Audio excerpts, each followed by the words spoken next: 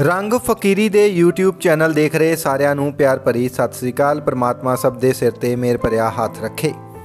ਦੋਸਤੋ, ਇਸ ਸਮੇਂ ਪੈਸਾ ਬਲਵਾਨ ਹੈ। ਜਿਸ ਕੋਲ ਪੈਸਾ ਹੈ ਉਸ ਦੀ ਪੂਰੀ ਦੁਨੀਆ ਸੁਣਦੀ ਹੈ।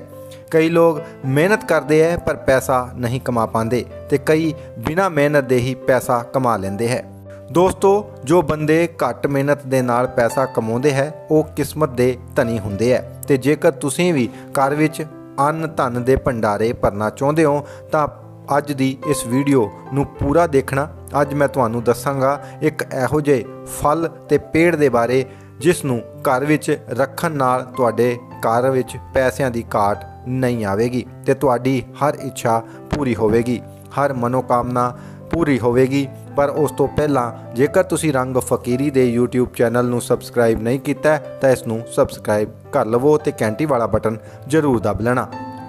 ਦੋਸਤੋ, ਜੇਕਰ ਤੁਸੀਂ ਪੈਸੇ ਦੀ ਘਾਟ ਤੋਂ ਪਰੇਸ਼ਾਨ ਹੋ ਜਾਂ ਤੁਹਾਡੀ ਕੋਈ ਇੱਛਾ ਪੂਰੀ ਨਹੀਂ ਹੋ ਰਹੀ, ਤਾਂ ਗੁੱਲਰ ਦੇ ਪੇੜ ਤੇ ਲੱਗਿਆ ਉਸ ਦਾ ਇੱਕ ਫਲ ਤੁਹਾਡੀਆਂ ਸਾਰੀਆਂ ਪਰੇਸ਼ਾਨੀਆਂ ਦੂਰ ਕਰ ਸਕਦਾ ਹੈ।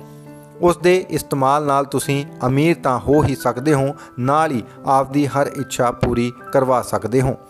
ਇੱਥੇ ਸਵਾਲ ਉੱਠਦਾ ਹੈ ਕਿ ਇਹ ਕਿਵੇਂ ਹੋ ਸਕਦਾ ਹੈ। ਤਾਂ ਮੈਂ ਤੁਹਾਨੂੰ ਇੱਕ ਛੋਟੀ ਜਿਹੀ ਕਹਾਣੀ ਸੁਣਾਉਣ ਜਾ ਰਿਹਾ ਹਾਂ, ਜਿਸ ਨਾਲ ਤੁਹਾਡੇ ਹਰ ਸਵਾਲ ਦਾ ਜਵਾਬ ਤੁਹਾਨੂੰ ਮਿਲ ਜਾਵੇਗਾ।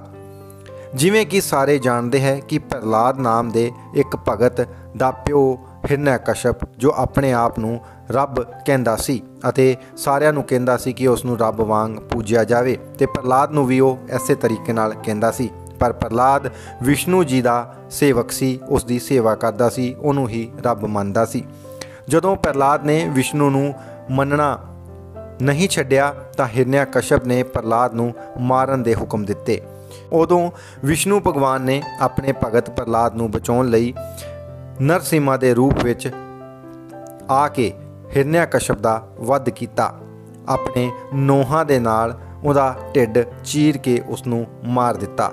ਹਿਰਨਿਆਕਸ਼ਪ ਦੇ ਖੂਨ ਦੇ ਨਾਲ ਨਰਸਿਮਾ ਦੇ ਨੋਹਾਂ 'ਚ ਖੁਰਕ ਹੋਣ ਲੱਗ ਗਈ, ਖੁਜਲੀ ਹੋਣ ਲੱਗ ਗਈ। ਤਾਂ ਉਹਨਾਂ ਨੇ ਆਪਣੇ ਨੋ ਗੁਲਰ ਦੇ ਪੇੜ ਦੇ ਵਿੱਚ ਗੱਡ ਦਿੱਤੇ। ਉਸ ਦੇ ਗੁਲਰ ਦੇ ਪੇੜ ਦੇ ਤਣੇ ਦੇ ਵਿੱਚ ਗੱਡ ਦਿੱਤੇ ਆਪਦੀ ਖੁਜਲੀ ਮਿਟਾਉਣ ਵਾਸਤੇ। ਜਿਸ ਨਾਲ ਉਹਨਾਂ ਦੀ ਖੁਰਕ ਜਿਹੜੀ ਨੋਹਾਂ ਦੇ ਵਿੱਚ ਹੋ ਰਹੀ ਸੀ, ਉਹ ਠੀਕ ਹੋ ਗਈ। ਪਰ ਉੱਥੇ ਗੁੱਲਰ ਦਾ ਪੇੜ ਰੋਣ ਲੱਗ ਪਿਆ। ਉਹਨੇ ਕਿਹਾ ਕਿ हे ਵਿਸ਼ਨੂੰ ਭਗਵਾਨ हे ਨਰਸਿਮਾ ਭਗਵਾਨ, ਤੁਸੀਂ ਮੇਰੇ ਸਰੀਰ ਦੇ ਵਿੱਚ ਆਪਦੇ ਨੋ ਗੱਡ ਦਿੱਤੇ ਤੇ ਹਿਰਨਿਆਕਸ਼ਪ ਜਿਹੜਾ ਅਸੁਰ ਸੀਗਾ, ਉਸ ਦੇ ਖੂਨ ਦੇ ਨਾਲ ਮੇਰਾ ਸਰੀਰ ਨਾਸ਼ਵਾਨ ਹੋ ਗਿਆ ਹੈ। ਮੇਰੇ ਸਰੀਰ ਦੇ ਉੱਤੇ ਜ਼ਖਮ ਬਣ ਗਏ ਨੇ।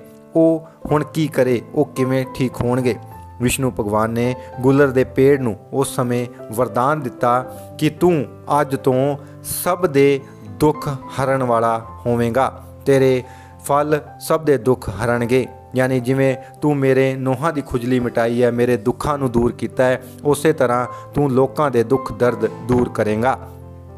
ਤੇ ਨਾਲ ਹੀ ਮੇਰੀ ਪਤਨੀ ਲక్ష్ਮੀ ਤੇਰੇ ਤੇ ਵਾਸ ਕਰੇਗੀ। ਦੋਸਤੋ, ਉਸ ਦਿਨ ਤੋਂ ਹੀ ਗੁੱਲਰ ਦੇ ਪੇੜ ਨੂੰ ਦੁੱਖ, ਦਰਦ ਦੂਰ ਕਰਨ ਵਾਲਾ ਮੰਨਿਆ ਜਾਂਦਾ ਹੈ।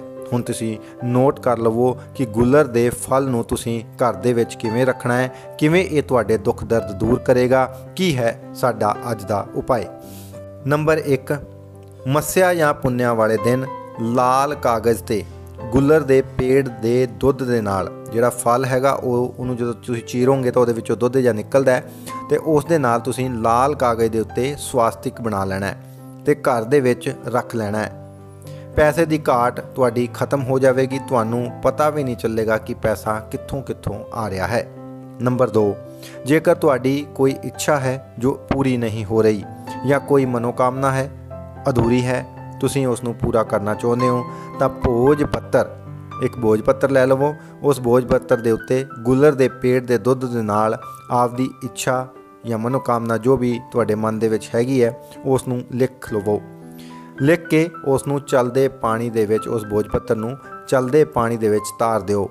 ਤੁਹਾਡੀ ਹਰ ਮਨੋਕਾਮਨਾ ਪੂਰੀ ਹੋ ਜਾਵੇਗੀ। ਨੰਬਰ 3 ਤੁਹਾਡੇ ਘਰ ਦੇ ਵਿੱਚ ਅੰਨ ਅਤੇ ਧਨ ਦੇ ਭੰਡਾਰੇ ਭਰੇ ਰੱਖਣ ਲਈ ਤੁਸੀਂ ਗੁੱਲਰ ਦੇ ਫਲ ਨੂੰ, ਜਿਹੜਾ ਫਲ ਹੁੰਦਾ ਹੈ ਗੁੱਲਰ ਦਾ ਉਸ ਨੂੰ ਆਪਣੀ ਤਿਜੋਰੀ ਦੇ ਵਿੱਚ ਰੱਖੋ। ਨਾਲ ਹੀ ਤੁਹਾਡੀ ਰਸੋਈ ਦੇ ਵਿੱਚ, ਤੁਹਾਡੇ ਅੰਨ ਦੇ ਵਿੱਚ, ਜਿਵੇਂ ਕਿ ਦਾਲਾਂ, ਆਟਾ, ਚਾਵਲ, ਕਣਕ, ਉਹਦੇ ਵਿੱਚ ਸਭ ਦੇ ਵਿੱਚ ਅਲੱਗ-ਅਲੱਗ ਜਿਹੜੇ ਡੱਬੇ ਹੈਗੇ ਉਹਨਾਂ ਦੇ ਵਿੱਚ ਇੱਕ ਇੱਕ ਗੁਲਰ ਦਾ ਫਲ ਹੈ ਜਿਹੜਾ, ਉਹ ਰੱਖ ਦੇਵੋ। ਇੰਜ ਕਰਨ ਦੇ ਨਾਲ ਤੁਹਾਡੇ ਅੰਨ, ਧਨ ਦੇ ਭੰਡਾਰੇ ਹਮੇਸ਼ਾ ਭਰੇ ਰਹਿਣਗੇ।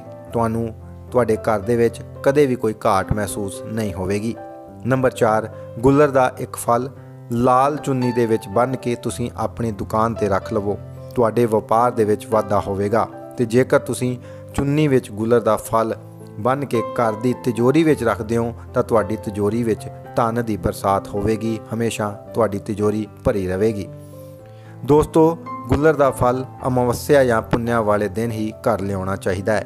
ਤੇ ਪੂਜਾ ਕਰਕੇ ਇਸ ਦਾ ਇਸਤੇਮਾਲ ਕਰੋਗੇ ਤਾਂ ਤੁਹਾਨੂੰ ਨਿਸ਼ਚਿਤ ਤੌਰ ਤੇ ਰਿਜ਼ਲਟ 100% ਮਿਲੇਗਾ ਉਮੀਦ ਕਰਦਾ ਹਾਂ ਕਿ ਅੱਜ ਦੀ ਇਹ ਵੀਡੀਓ ਤੁਹਾਨੂੰ ਪਸੰਦ ਆਈ ਹੋਵੇਗੀ ਇਸ ਨੂੰ ਲਾਈਕ ਅਤੇ ਸ਼ੇਅਰ ਕਰਨਾ ਬਿਲਕੁਲ ਨਾ ਭੁੱਲਣਾ ਤੇ ਜੇਕਰ ਤੁਸੀਂ ਕੋਈ ਸਾਨੂੰ ਰਾਏ مشورہ ਦੇਣਾ ਚਾਹੁੰਦੇ ਹੋ ਤਾਂ ਕਮੈਂਟ ਬਾਕਸ ਦੇ ਵਿੱਚ ਜਾ ਕੇ ਕਮੈਂਟ ਰਾਹੀਂ ਸਾਨੂੰ ਜ਼ਰੂਰ ਦੱਸੋ ਤੇ ਜੇਕਰ ਤੁਸੀਂ ਰੰਗ ਫਕੀਰੀ ਦੇ YouTube ਚੈਨਲ ਨੂੰ ਹਾਲੇ ਤੱਕ ਸਬਸਕ੍ਰਾਈਬ ਨਹੀਂ ਕੀਤਾ ਤਾਂ ਇਸ ਨੂੰ ਸਬਸਕ੍ਰਾਈਬ ਕਰ ਲਵੋ ਤੇ ਘੰਟੀ ਵਾਲਾ ਬਟਨ ਜ਼ਰੂਰ ਦਬ ਲੈਣਾ ਤਾਂ ਜੋ ਹਰ ਨਵੀਂ ਵੀਡੀਓ ਦੀ ਨੋਟੀਫਿਕੇਸ਼ਨ ਤੁਹਾਡੇ ਕੋਲ ਸਭ ਤੋਂ ਪਹਿਲਾਂ ਪਹੁੰਚ ਸਕੇ।